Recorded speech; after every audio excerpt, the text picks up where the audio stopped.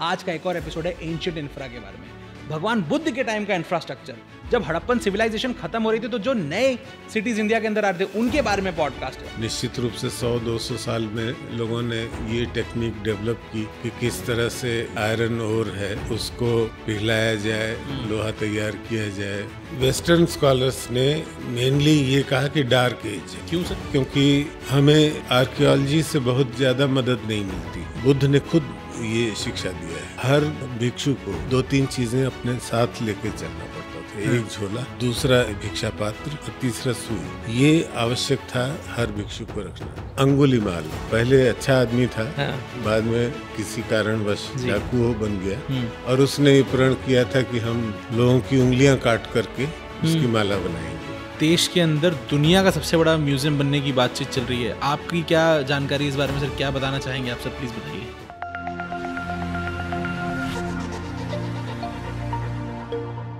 जे के super podcast की जनता, एक बार फिर से आपका स्वागत है एक और कमाल और धमाकेदार एपिसोड में। आज का एपिसोड किस बारे में? आज का एक और एपिसोड है एंशियंट इंफ्रा के बारे में।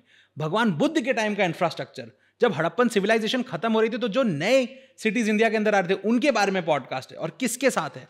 आर्कियोलॉजी की दुनिया के माने हुए और नेशनल म्यूज़ियम के director general doctor B R Mani के साथ। बहुत ही माना हुआ नाम है देश के अंदर। अगर आप खुद रिसर्च करेंगे, आपको पता पड़ेगा कि कितने बड़े गेस्ट के साथ बैठने का सौभाग्य आ जाए। तो आइए जानिए क्योंकि नॉलेज आपको मिलेगी कमाल की। अनबिलीवेबल नॉलेज बहुत सारी चीज़ों के बारे में। सर बहुत बहुत स्वागत है आपका जेके सुपर पॉडकास्ट में। कैसे हैं सर? अच्छा सर देश का नेशनल म्यूज़ियम है ये। जी। आपके अनुसार किसी व्यक्ति को अगर आना है देश के किसी भी कोने से कोई व्यक्ति आया उसने कहा आज मैं नेशनल म्यूज़ियम घूमने जाऊँगा। कितना समय उसको निकाल के आना चाहिए अगर इन इस म्यूज़ियम को अच्छे से घूमना है? मतलब देखिए अच्छे से तो सर अच्छा तो अब कितना भी अच्छा हो सकता है पर एक एक आम आदमी को अच्छे से घूमना है तो कितना समय उसको निकालना चाहिए? आम आदमी को तो आधे दिन मतलब तीन से चार घंटे कम से कम। हाँ डिवोट करेगा हम्म। तो आदमी को पता चल सकेगा कि म्यूज़ियम में क्या है किस तरह की चीज़ें हैं हमारी संस्कृति क्या है। हम्म। कब से संस्कृति सभ्यता का उदय हुआ हम्म। हमारा लास्ट पॉडकास्ट था मिस्टर वी एन प्रभाकर के साथ वो भी बहुत ही माने हुए आर्कियोलॉजिस्ट थे। सर ये उनसे हमने इंडस वैली सिविलाइजेशन के बारे में बात की हड़प्पन सिविलाइजेशन के बारे में बात की। सर अब उन हमने वो जर्नी उनके साथ कवर करी। अब मैं जानना चाहता हूँ सर आपसे कि जब हड़प्पन सिविलाइजेशन खत्म हो रहा था तब दे, तब देश में दुनिया में क्या हो रहा था सर? उस समय पे क्या हो रहा था? कोई नया सिविलाइजेशन आ रहा था? क्या चल रहा था सर? भारत की बात करें तो भारत में जो हड़प्पन सिविलाइजेशन था जिसको लोग इंडस वैली सिविलाइजेशन भी कहते हैं लेकिन आज जब ज़्यादातर खोज हो सकी है ड्राइड रिवर बेड जो है सरस्वती बड़ी विशाल नदी थी जिसका उल्लेख वैदिक साहित्य में भी आता है। तो जो उसका ड्राइड रिवर बेड है उसकी स्टडी जियोलॉजिस्ट ने की है और उसकी सेटेलाइट इमेजरीज से उसका पता चलता है नदी का जो सूख गई। हम्म उस नदी के किनारे अधिकांश ये जो हड़प्पन साइट है उस नदी के किनारे हैं। ठीक। इंडस के किनारे कम है। एग्रीकल्चर की वजह से। अच्छा ज़्यादातर सरस्वती ज़्यादातर सरस्वती के किनारे ब, अ, लोग हाँ। बसे थे। लेकिन सरस्वती से लेकर के इंडस हाँ। यानी सिंधु नदी तक लोग बसे हुए थे। जब इसकी शुरुआत हुई थी हम्म। 1920 के प्रारंभ में जी। उस समय इंडस वैली सिविलाइजेशन कहते थे हम्म। लेकिन आज इसको इंडस वैली सिविलाइजेशन न कह के हम्म। इंडस सरस्वती सिविलाइजेशन लोग मानते हैं हम्म। क्योंकि सरस्वती घाटी में अधिक से अधिक साइट मिलते हैं। और ये सरस्वती नदी जो है हिमालय से निकल कर और हरियाणा पंजाब होती हुई और फिर आगे राजस्थान और गुजरात की तरफ़ जाती थी। ठीक। इन साइट्स में हम ये देखते हैं कि वैदिक लिटरेचर देखें तो हम हमें पता चलता है सरस्वती नदी के सूखने का। हम्म। और विनशन शब्द आया है एक स्थान के लिए हम्म। कि जहाँ सरस्वती सूख गई उसका विनाश हो गया। हम्म। अब इसके बहुत सारे कारण थे। हम्म। टेक्टोनिक मूवमेंट्स हुए हिमालय में। हम्म। एक धारा सतलज की तरफ़ चली गई ठीक। और दूसरी धारा जमुना हम्म। और इस तरह से ये स्थिति लगभग 1300 1400 ईसा पूर्व जी। में प्रारंभ हुई। अब जो 1300 1400 ईसा पूर्व का समय है वहाँ से लेकर के छठी शती ईसा पूर्व। हम्म। जब हम देखते हैं कि बुद्ध महावीर जैसे धार्मिक नेताओं का उद्भव होता है और वो धर्म का प्रचार करते हैं। हम्म। एक सेकंड अर्बनाइजेशन की लोग बात करते हैं कि अर्बनाइजेशन फिर से शुरू हुआ। हम्म। नगर नगरी सभ्यता बढ़ी कौशाम्बी अहिछत्रा राजघाट। हम्म। तो इन दोनों के बीच में सात आठ सौ साल का अंतर दिखलाई देता है। हम्म। ये जो 700 साल या 800 साल तक भी कुछ लोग मानते हैं ये जो समय है जी। इसको वेस्टर्न स्कॉलर्स ने मेनली ये कहा कि डार्क एज है। क्यों सर? डार्क एज इसलिए कहा क्योंकि हमें आर्कियोलॉजी से बहुत ज़्यादा मदद नहीं मिलती। अच्छा। इतना एक्सट्रीम पे गया हुआ सिविलाइजेशन था। हम्म। इंडस सरस्वती सिविलाइजेशन जो था। हम्म। वो अचानक हम देखते हैं कि समाप्त हो जा रहा है। हम्म। और अगला सिविलाइजेशन जो आ रहा है जो अर्बनाइजेशन हो रहा है जो नगर विकसित हो रहे हैं हम्म। वो 500-600 ईसा पूर्व के आसपास विकसित हो रहे हैं। तो इसके बीच का के पीरियड में एक तो बहुत सारा काम भी नहीं हुआ था। हम्म। और अ, कोई ऐसी चीज़ें नहीं मिलती हैं जो आ, मार्कर हों एक बड़े सिविलाइजेशन की। हम्म। तो इसलिए लोगों ने इसको नाम दिया। खासतौर से वेस्टर्न स्कॉलर्स ने ये नाम दिया कि ये डार्क एज है। तो वो जो इंडस सरस्वती के पीरियड में व्यापार हो रहा था हम्म। वो तो इफेक्टेड हुआ। हम्म। लेकिन अब जो नए लेटेस्ट रिसर्चेस हुए हैं उनके हिसाब से कोई डार्क एज नहीं है। अब अच्छा अब चेंज हो गया। अब चेंज हुआ। इंडस सरस्वती सिविलाइजेशन है या हड़प्पन सिविलाइजेशन है वो एक चालकोलिथिक सिविलाइजेशन है जो तांबे और पत्थर जी। के औज़ार हथियारों को यूज़ करने वाली सिविलाइजेशन थी। तो उसको कहीं कॉपर एज कहा गया है कहीं चालकुलिथिक एज कहा गया है। अब हमें बहुतायत से ऐसे साइट नॉर्थ इंडिया और सेंट्रल इंडिया दोनों में मिल रहे हैं हम्म। जहाँ 2000 हम्म। ईसा पूर्व के आसपास और उसके बाद भी हम्म। सिविलाइजेशंस हम्म। खासतौर से कल्चर्स हम्म। डेवलप हो रहे थे और कंटिन्यू कर रहे थे। अच्छा। तो बहुत सारे नए साइट्स के एक्सकवेशन हुए हैं एक्सप्लोरेशंस के माध्यम से पता चला है। हाँ जहाँ एक्सकवेशंस नहीं हुए हैं उन साइट्स पे माउंट्स पे वही मटेरियल मिल रहा है जो एक्सकवेटेड रिमेन्स में मिला है। हाँ। और जिसके आधार पे हम ये कह सकते हैं कि डेढ़ हज़ार से दो हज़ार ईसा पूर्व तक के बहुत सारे साइट हाँ। हर एरिया में हिंदुस्तान में मिल रहा है। तो अब डार्क एज वाली जो वाला जो कॉन्सेप्ट था पहले दिया गया था जी। वो समाप्त हो जाता है। अब बात आती है कि ये जो सेकेंड अर्बनाइजेशन है जी।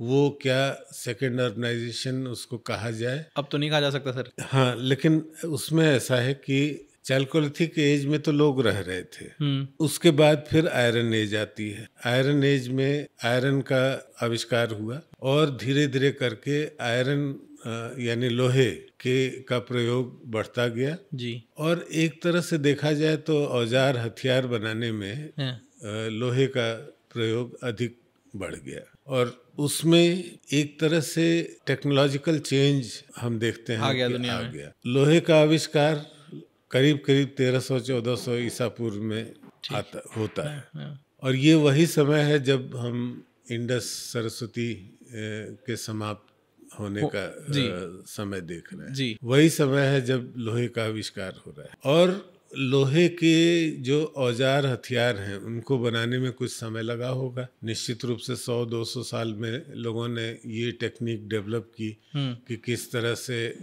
जो ओर है आयरन ओर है उसको पिघलाया जाए। निश्चित रूप से 100-200 साल में लोगों ने ये टेक्निक डेवलप की कि किस तरह से जो ओर है आयरन ओर है उसको पिघलाया जाए लोहा तैयार किया जाए। लोहे के औज़ार हथियार भरपूर मात्रा में मिलने तैयार हो गए। शुरू हो गए। जी। मेरे हिसाब से तो वही समय है जब एक अर्बनाइजेशन का नया दौर शुरू हुआ। सेकेंड अर्बनाइजेशन तो नहीं कहेंगे। जी। लेकिन उसका उसमें चूँकि टेक्नोलॉजिकल चेंज अचानक आया हाँ। तो उसको देखते हुए एक नया दौर शुरू हुआ। वेस्टर्न कॉन्सेप्ट जो है अर्बनाइजेशन का हम्म।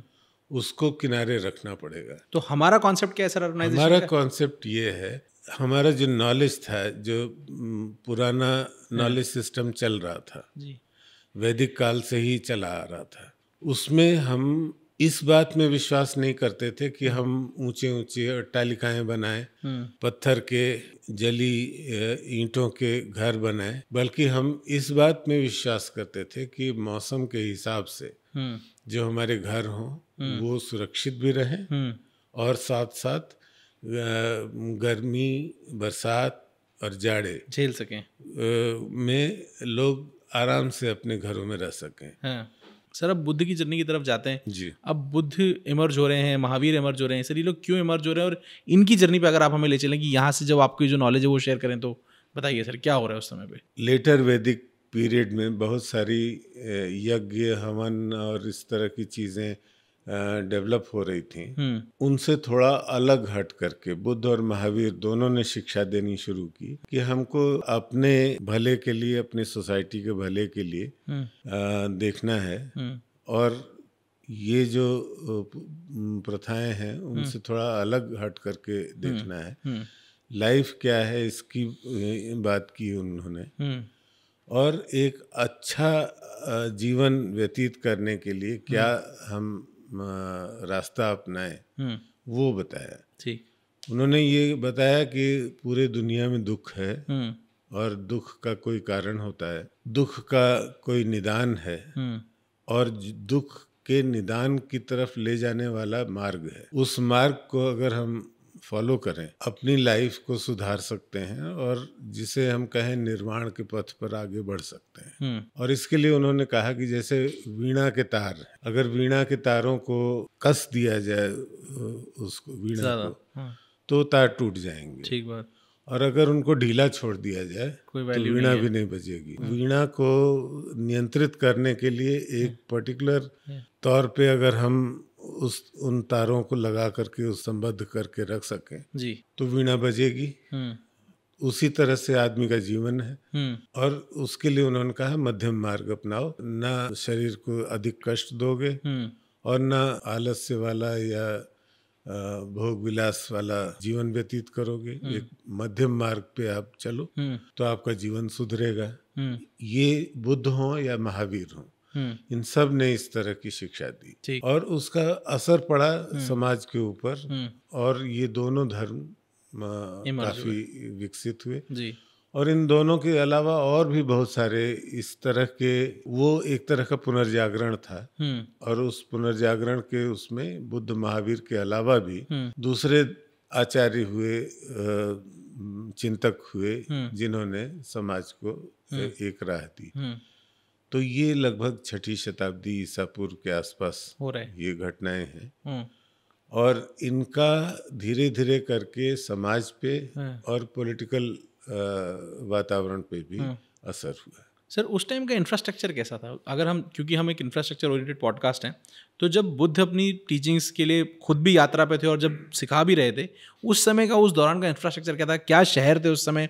किस तरह का कल्चर था? उस बारे में अगर आप थोड़ा थोड़ा बताएँ सर। देखिए बुद्ध के लाइफ से संबंधित जो त्रिपिटक है हम्म। या इसी तरह से आगम और दूसरे पुस्तकें हैं जिसमें तीर्थंकरों का विशेष रूप से महावीर से संबंधित उल्लेख आते हैं। हम्म। उनमें बड़े नगरों का भी उल्लेख है हम्म। ग्रामों का उल्लेख है हम्म। निगमों का उल्लेख है।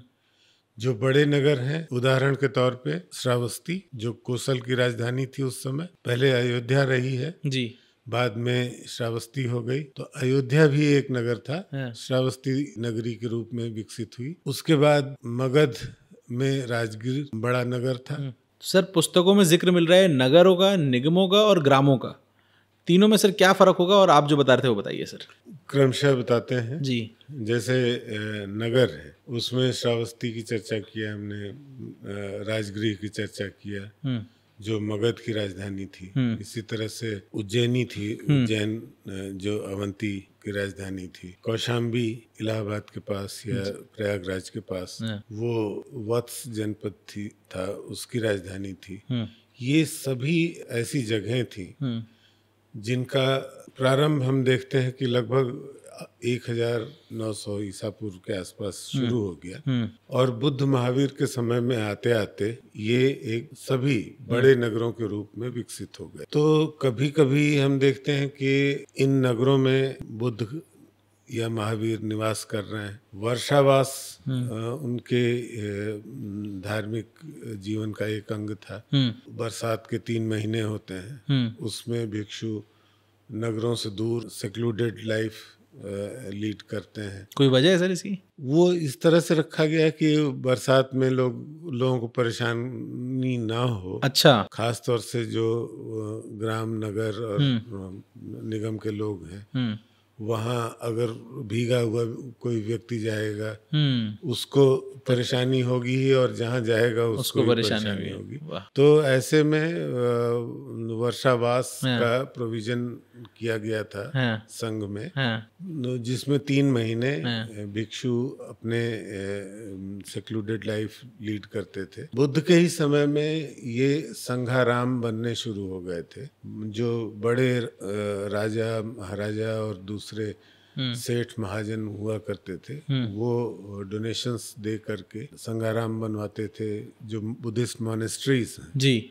उनका निर्माण करवाते थे। जी। और वो इसीलिए कि वहाँ जा करके वर्ष के तीन महीने हाँ। वर्षा के समय लोग रहें और उसके बाद फिर घूमना शुरू करें। हम्म।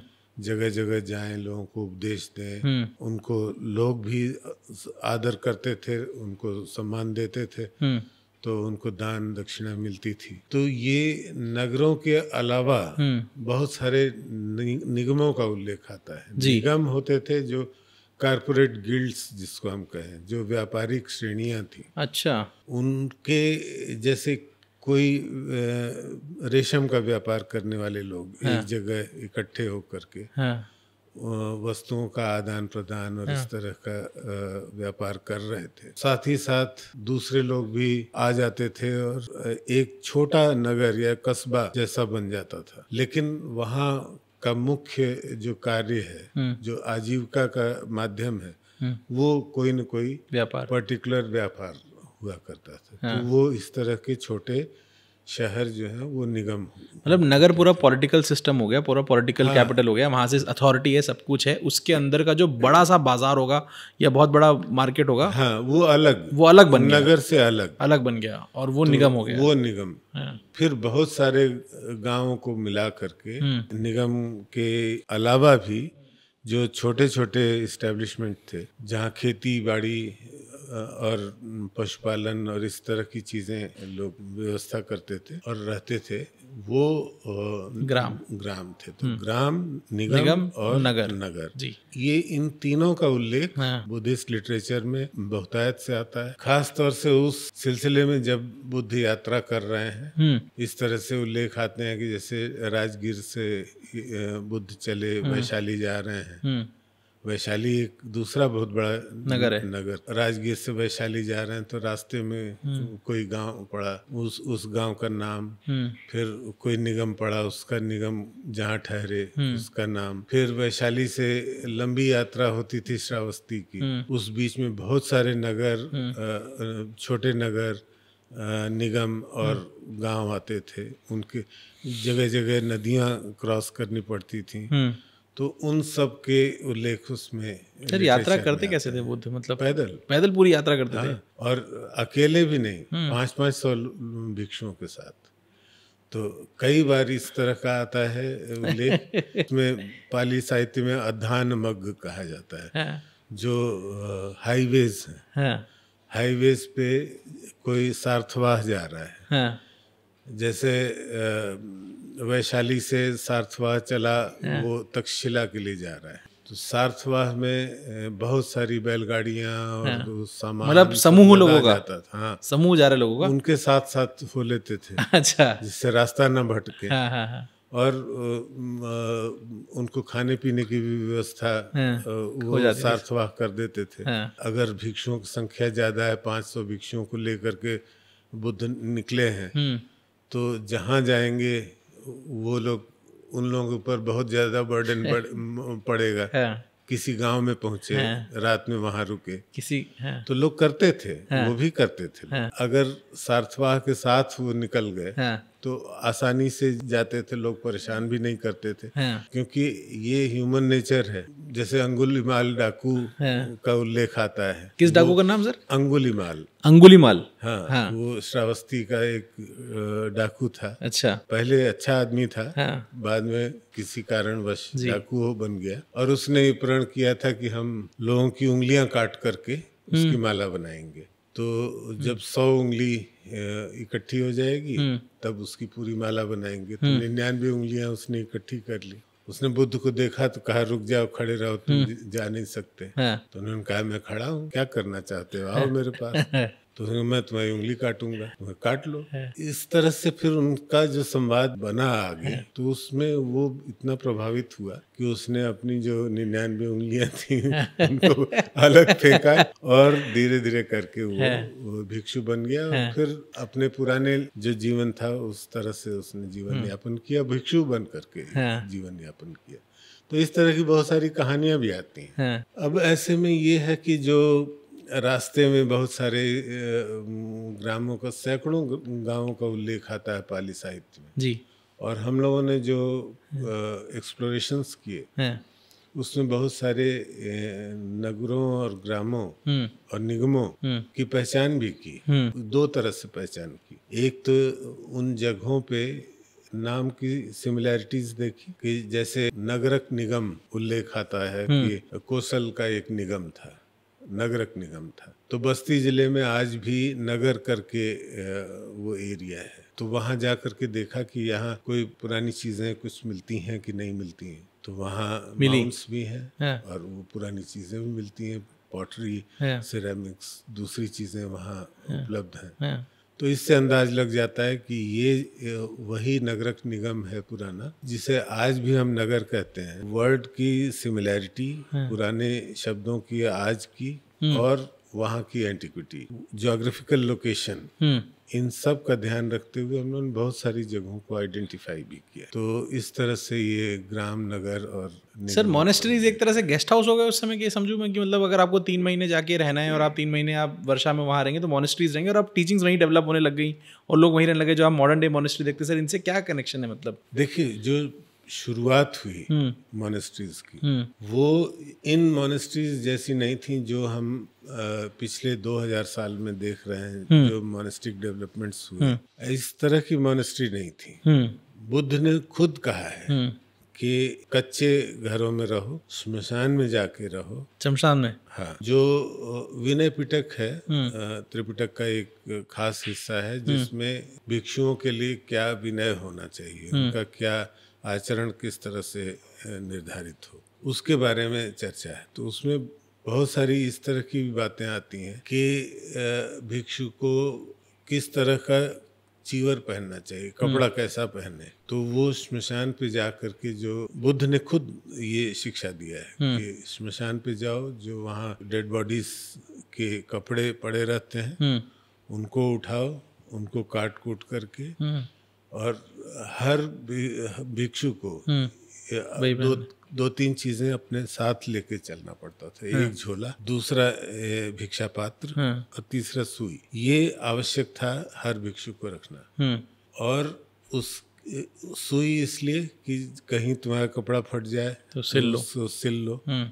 एक ही ड्रेस रखो एक्स्ट्रा और एक पहन के रखो। उससे नहाते समय उसको धो हम्म। और जो साफ़ ड्रेस है तुम्हारे पास उसको पहन लो। तो इस तरह से जो मिनिमम रिक्वायरमेंट है जी। वो अब करते रहो। हम्म। जो भिक्षा पात्र है मिट्टी का होना चाहिए। अगर गिर के टूट जाए हम्म। तो उसको मेंडिंग करो। यहाँ तक कि हम लोगों को खुदाई में इस तरह के नॉर्दर्न ब्लैक पॉलिश वेयर और ब्लैक स्लीव्ड वेयर के बर्तनों के जो बोल्स हैं उनके टुकड़े मिले हैं जिनको तांबे के तार से हम्म। जोड़ा गया है। वो भी मिलते हैं। हम्म।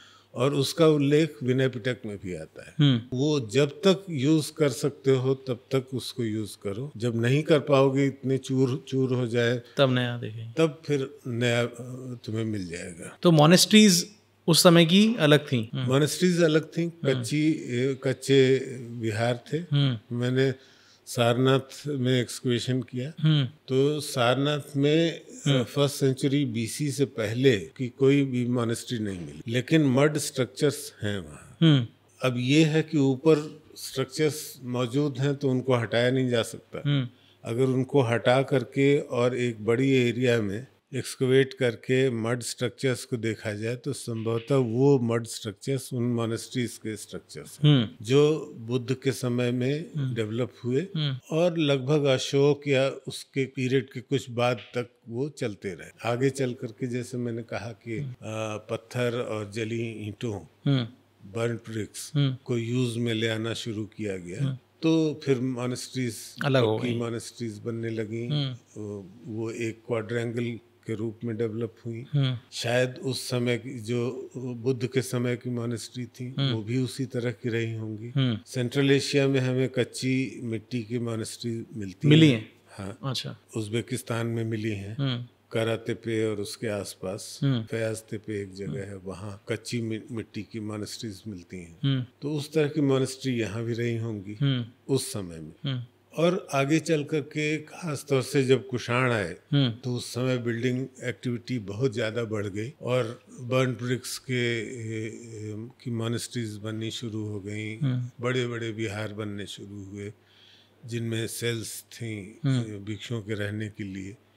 सेंट्रल सेल में बुद्ध की मूर्ति लगा करके वहाँ पूजा पाठ भी होता था। बीच के आँगन में हर मॉनेस्ट्री में एक कुआँ होता था। हम्म।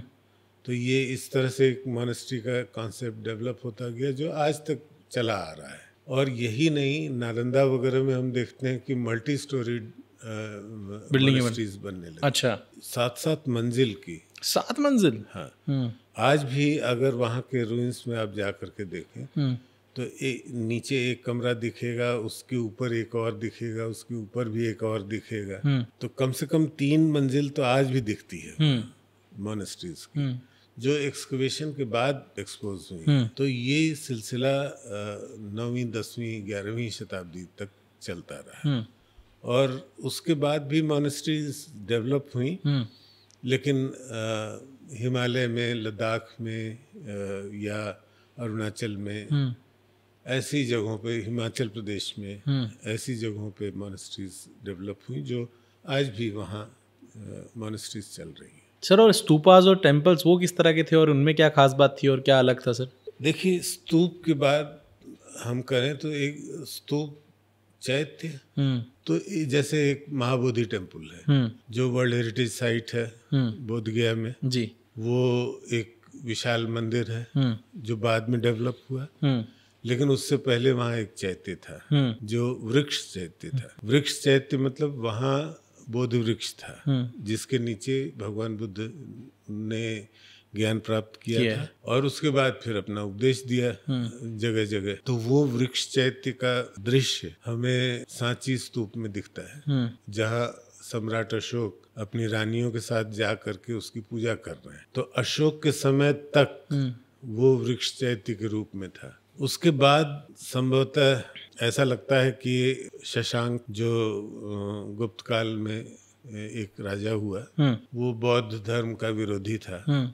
उसने बोध वृक्ष को भी कटवाया अच्छा। और शायद के समय में वो जो वृक्ष चैत्य था वो भी नष्ट हुआ। और उसके कुछ समय के बाद वो विशाल मंदिर बना जो महाबोधि टेंपल कहा जाता है। जी। तो इस तरह से टेम्पल्स भी बने लेकिन स्तूप बहुत इम्पोर्टेंट स्ट्रक्चर है खास तौर से बुद्धिज्म की बात करें। जी। बुद्ध के जो वचन है उनके हिसाब से बुद्ध से पहले भी स्तूप और चैत्य अब उनका क्या स्वरूप था ये कहना बड़ा मुश्किल है। हम्म।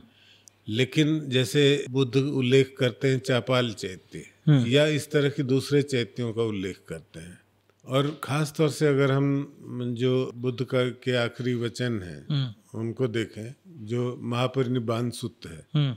महापरिनिर्वाण सूत्र हम्म। उसमें आनंद या दूसरे भिक्षु पूछते हैं कि स्तूप किस तरह के हों हम्म। आपके जाने के बाद हम किस किसकी पूजा करें हम्म। और किन लोगों के शरीर के ऊपर स्तूप बनाए जा सकते हैं। ये सब प्रश्न पूछते हैं। अच्छा। तो उनका जवाब हाँ। बुद्ध ने दिया है। हाँ। तो उसमें तीन तरह के स्तूपों का उल्लेख है। हाँ।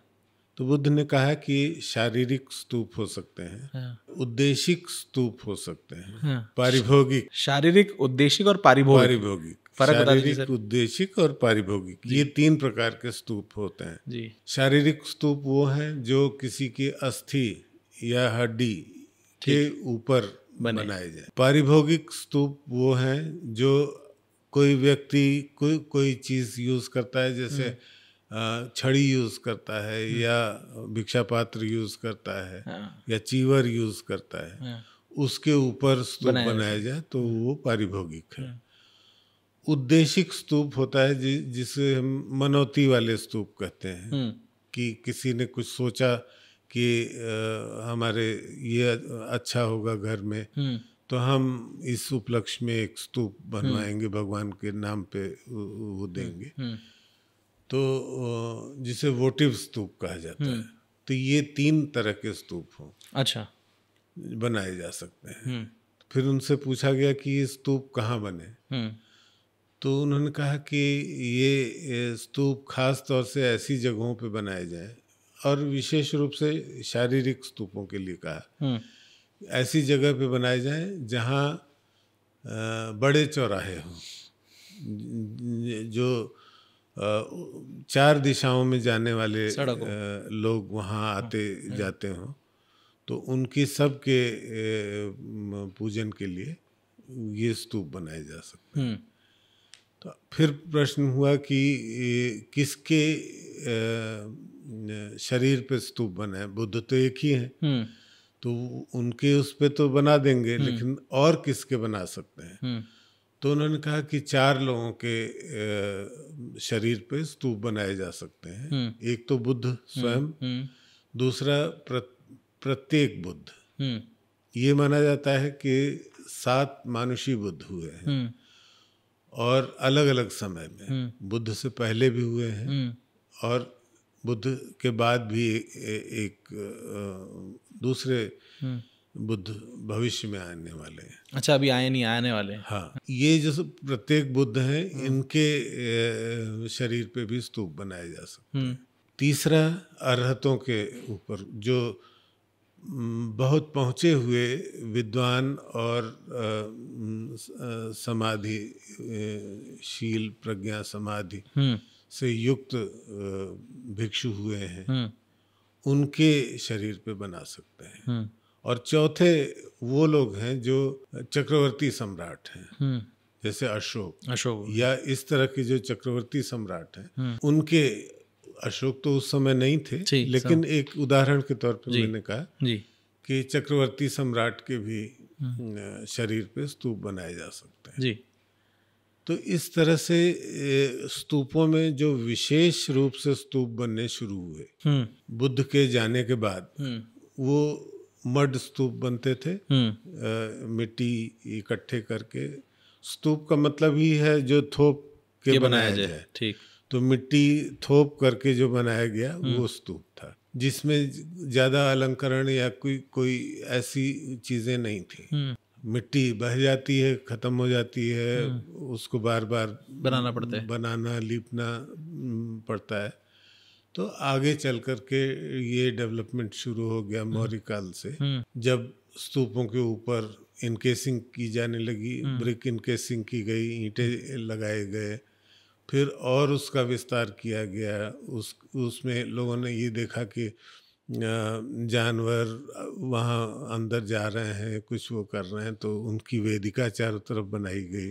वेदिका से घेर दिया गया एक तरह से इनक्लोजर के अंदर तो उसके गेट भी बनाए गए।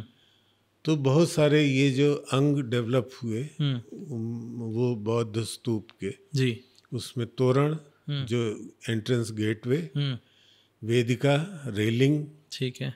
फिर एक वेदिका मध्य में भी बननी शुरू हुई स्तूप के वो वेदिका। हाँ। और जो स्तूप का विस्तृत स्वरूप था जिसमें पत्थर से या पकी ईंटों से जो इनकेसिंग की गई थी उसको अंड कहा गया।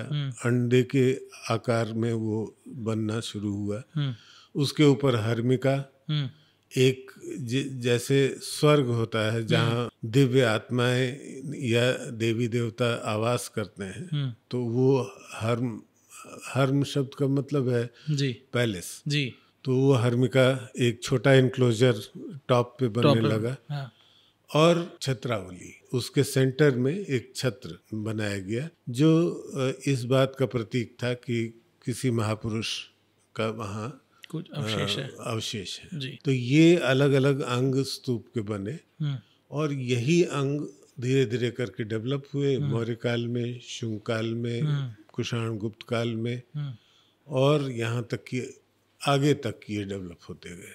तो स्तूप स्तूप के अलावा हाँ, मोनेस्ट्री की बात हमने की कि जो। क्वाड्रेंगल्स होते थे जिसमें एक कुआँ होता था बीच में सेंटर में एक श्राइन होता था जिसमें बुद्ध की मूर्ति होती थी लोग पूजा करते थे। आँगन जो होता था वहाँ बैठ करके भिक्षु शास्त्रार्थ करते थे धार्मिक चर्चा करते थे। और इस तरह से ग्रुप ऑफ़ मोनेस्ट्रीज बननी शुरू हुई। हम्म। उनको शुरू में महाविहार कहा गया। विहार से बढ़ के महाविहार। ये एजुकेशन सिस्टम है उस समय का? हाँ ये एक तरह का एजुकेशन सिस्टम था। बुद्धिस्ट एजुकेशन सिस्टम जी। जो आगे चल के नालंदा विश्वविद्यालय।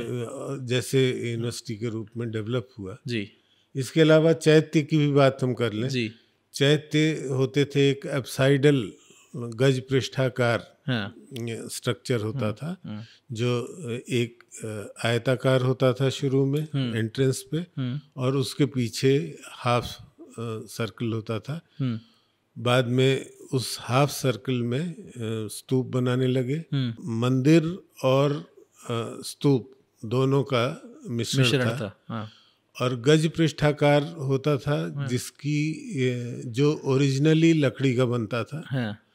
टिम्बर स्ट्रक्चर था। हम्म जो अशोक या उससे पहले टिम्बर स्ट्रक्चर के स्तूप बन बनते रहे बुद्ध के समय से लेकर के और अशोक के समय तक। हम्म। टिम्बर स्ट्रक्चर चलता रहा। हम्म। वही टिम्बर स्ट्रक्चर बाद में डेवलप हो गया स्ट्रक्चरल रूप में ईंटें पत्थर का बनाने लगे। हम्म। और अगर आप वेस्टर्न इंडिया में केव्स में देखें अजंता में एलोरा में और दूसरे केव्स में हम्म। वहाँ रॉकट आर्किटेक्चर के रूप में भी वही डेवलप हुआ। टिम्बर स्ट्रक्चर को अपनाया गया था। हम्म। तो अगर कार्ला में आप देखें तो वहाँ लकड़ी अभी भी हम्म। मौजूद है। हम्म। जो जिसका फ़ंक्शन कुछ नहीं है। हम्म।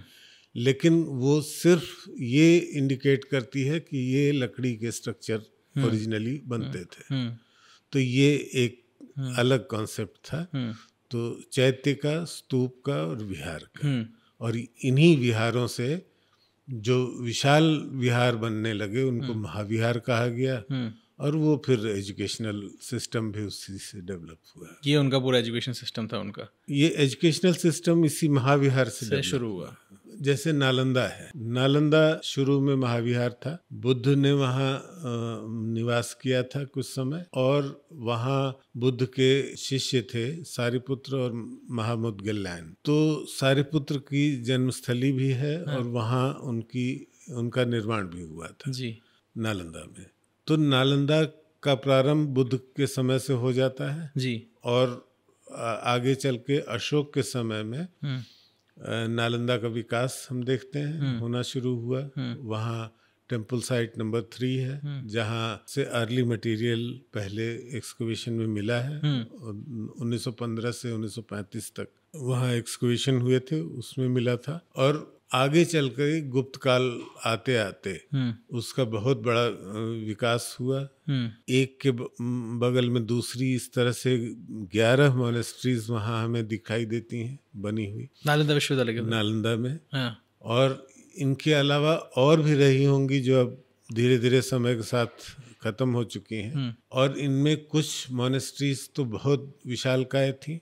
और एक सिस्टम जो यूनिवर्सिटी का सिस्टम होता है एक मॉडर्न यूनिवर्सिटी का सिस्टम हम्म। वो हम देखते हैं कि फिफ्थ सेंचुरी एडी हम्म। के बाद से वहाँ शुरू हो गया। हम्म।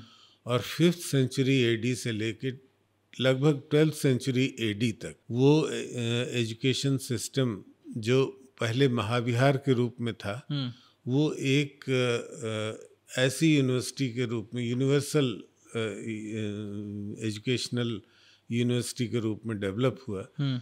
जहाँ न सिर्फ़ बौद्ध धर्म और दर्शन की पढ़ाई होती थी बल्कि वहाँ वैदिक धर्म की वहाँ व्याकरण की वहाँ चिकित्सा की हम्म। वहाँ प्रौद्योगिकी की हम्म। इन सभी चीज़ों की पढ़ाई होती थी। हम्म। और वहाँ के संग्रहालय में हम देखें तो ये बहुत सारी चीज़ें जो हैं हम्म। जो जैसे नालंदा की फाउंड्री इतनी विकसित थी हम्म। वहाँ के फर्नेसेस जो एक्सकवेशन में भी मिली हैं उनसे सुंदर कॉपर और ब्रॉन्ज के मूर्तियाँ बनती थी वहाँ। हम्म हम्म। और वो सिर्फ़ वहाँ मूर्ति बनाने के का, की व्यवस्था नहीं थी बल्कि उसके बारे में वहाँ पढ़ाया जाता था। स्टूडेंट्स जो आते थे जैसे वेनसांग वगैरह ने उल्लेख किया है हम्म। कि वहाँ पंद्रह सौ विद्यार्थी हम्म। पढ़ रहे थे और उनको पढ़ाने वाले आचार्य वहाँ थे। हम्म।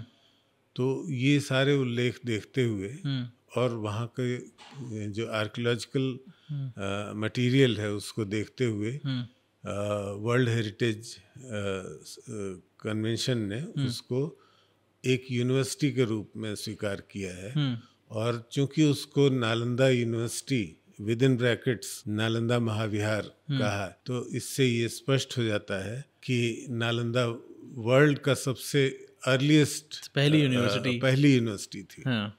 और ये यूनेस्को ने भी इस बात को एक्सेप्ट कर लिया एक्सेप्ट किया। क्या बात है सर बहुत ही खूबसूरत। सर जैसा कि आजकल सुनने में आ रहा है कि देश के अंदर दुनिया का सबसे बड़ा म्यूज़ियम बनने की बातचीत चल रही है। आपकी क्या जानकारी इस बारे में सर क्या बताना चाहेंगे आप सर प्लीज़ बताइए। अभी तो हम यही कह सकते हैं कि जो राष्ट्रीय संग्रहालय है हम्म। फ़िलहाल अपने पुराने भवन में है। हम्म। और युग युगीन भारत जी। के रूप में राष्ट्रीय संग्रहालय डेवलप होने की का प्लानिंग है। जी। जो निकट भविष्य में जी। नॉर्थ ब्लॉक और साउथ ब्लॉक जो राष्ट्रपति भवन के दो इम्पोर्टेंट बिल्डिंग्स हैं जी। वहाँ विश्व का सबसे बड़ा संग्रहालय बनेगा। बहुत बहुत धन्यवाद सर आपका समय देने के लिए। इतनी जानकारी देने के लिए हमें किताबों में नहीं मिल पाता सर। किसी से सुनने में जो एक मज़ा है जो आनंद है और जो समझ आता है और जिस तरह सवाल करने की हमारे पास क्षमता होती है कि हम भी कुछ पूछ सकते हैं उससे बहुत वो बहुत ही बहुत ही कमाल की चीज़ है सर। बहुत बहुत आपका धन्यवाद कि आपने समय निकाला हमने आपको इतनी देर परेशान किया। थैंक यू सर नहीं, देने के लिए। भी बहुत अच्छा लगा। जी सर बहुत बहुत धन्यवाद। युग युगिन भारत को भी बहुत जल्दी कवर करेंगे बाकी चीज़ों को भी कवर करेंगे। इस एपिसोड को ज़रूर देखिएगा लाइक करिएगा शेयर करिएगा सब्सक्राइब करिएगा। बहुत कुछ जानने को आपको मिलेगा। यूनिवर्सिटीज़ कैसी थी शहर कैसे थे नगर क्या थे निगम क्या थे क्यों सभ्यताएँ खत्म होती हैं या शुरू होती हैं सबके बारे में आपको जानने को बहुत कुछ मिलेगा। सब्सक्राइब ज़रूर करिएगा। बहुत बहुत नमस्कार। Thank you sir